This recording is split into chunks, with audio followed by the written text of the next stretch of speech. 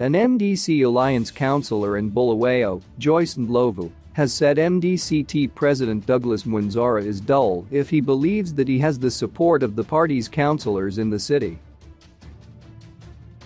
Ndlovu, who is the Ward 2 councillor, attended a caucus meeting of the Citizens Coalition for Change CCC, two weeks ago.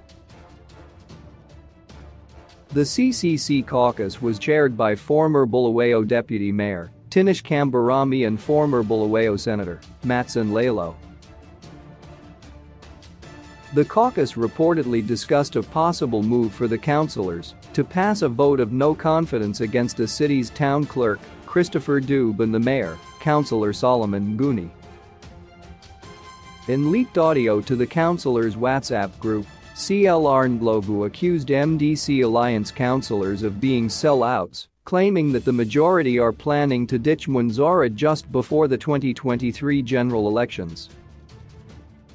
Ndlovu said. I have a question Bulawayo councillors, I will exclude two people, or just maybe one from this group, and the person I will remove is the chief whip, CLR Silas Chagora. I will exclude you chief whip because you stand for what you say. People have been accusing you of causing the recall of counselors until we realized that you are innocent and you have clearly stated that you are a member of the MDCT. What I would like to know is who exposed me, that I attended the CCC caucus, who leaked, I am asking, who exposed me. I would like to say the truth right now, and right here, that even the MDCT president Mwonzora is dull.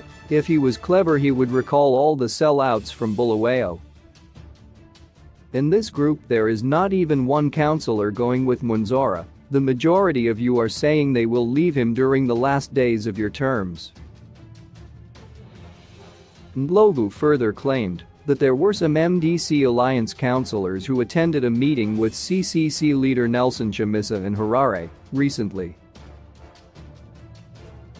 When contacted for a comment by the Sunday News, Ndlovu confirmed that she was indeed the one speaking in the audio and stood by what she said.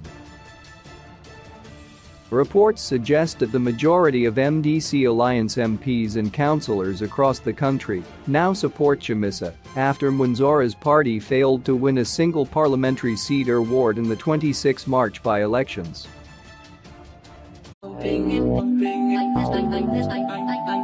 Just to be